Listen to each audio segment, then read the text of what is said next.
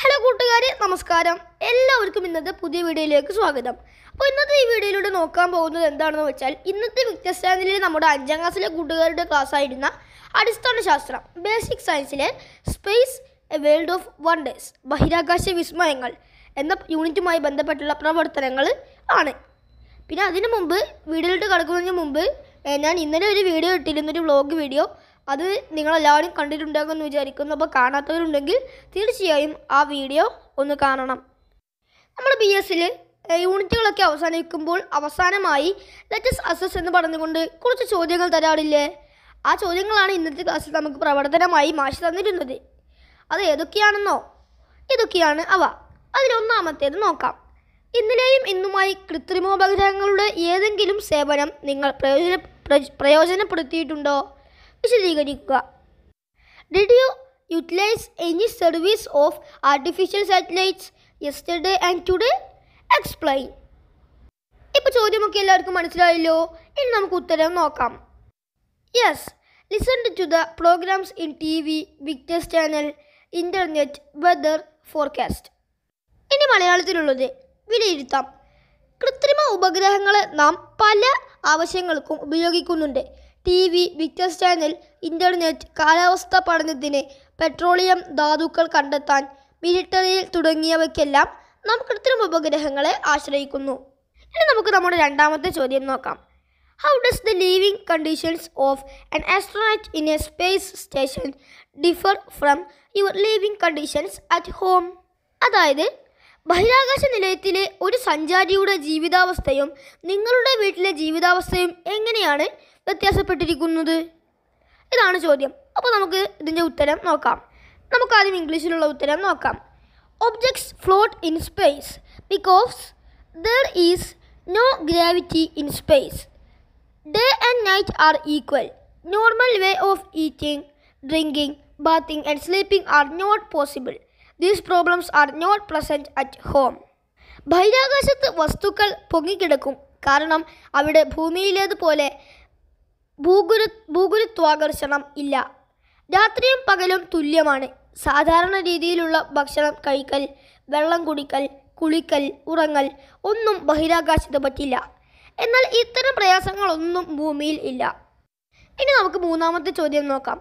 Artificial satellites provide us with many facilities of life we enjoy today do you agree with this statement discuss അതായത് നാം ഇന്ന് അനുഭവിക്കുന്ന ഒട്ടേറെ ജീവിത സൗകര്യങ്ങൾ നമുക്ക് നൽകുന്നത് കൃത്രിമോപഗ്രഹങ്ങളാണ്.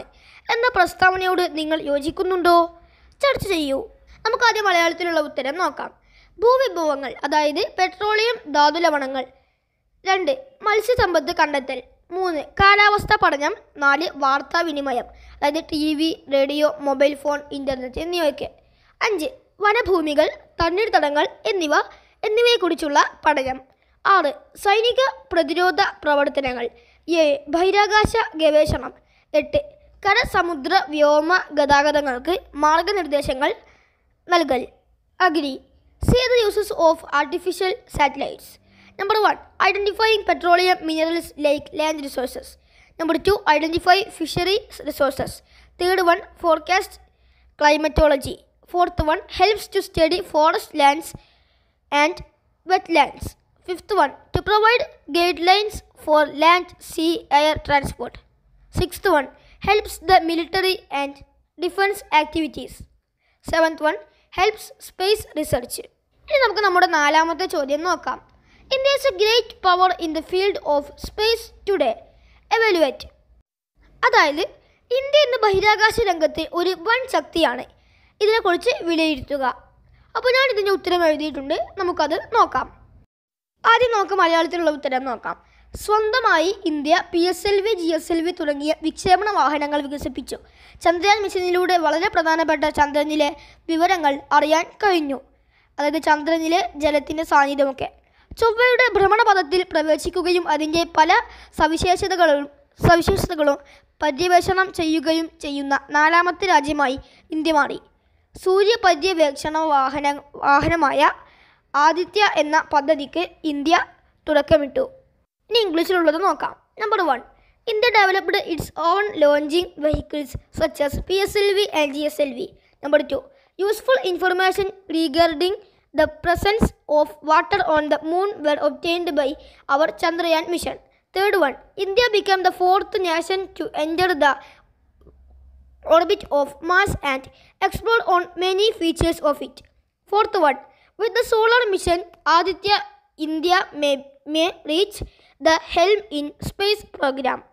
ഇനി നമ്മുടെ ഇന്നത്തെ ക്ലാസ്സിലെ അവസാനത്തെ പ്രവർത്തനം നിങ്ങൾക്ക് സ്വന്തമായി ചെയ്യാൻ പറ്റുന്ന ഒരു പ്രവർത്തനമാണ്. എന്താണെന്നോ? കൃത്രിമോപഗ്രഹങ്ങൾ വിക്ഷേപണ വാഹനങ്ങൾ തുടങ്ങിയവയുടെയും ബഹിരാകാശ സഞ്ചാരികളുടെയും ചിത്രങ്ങൾ വാർത്തകൾ കുറിപ്പുകൾ എന്നിവ ഉൾപ്പെടുത്തി ഒരു ബഹിരാകാശ പതിപ്പ് തയ്യാറാക്കുക. നിങ്ങൾക്ക് സ്വന്തമായി ചെയ്യാവുന്ന പ്രവർത്തനമേ ഉള്ളൂ. അപ്പോൾ ചെയ്തിട്ട് ചെയ്തിട്ട് നിങ്ങളുടെ ടീച്ചേഴ്സിനത് കാണിച്ചു കൊടുക്കണം. അപ്പോൾ ഇത്രയുള്ള കൂട്ടുകാരെ ഇന്നത്തെ വീഡിയോ ഇനി നമുക്ക് ഇതുപോലത്തെ പുതിയൊരു വീഡിയോയുമായി മറ്റൊരു ദിവസം വീണ്ടും കാണാം. അതുവരേക്കും എല്ലാവരും വീട്ടിൽ സുരക്ഷിതരായിരിക്കാൻ ശ്രമിക്കണം. Stay safe stay home bye bye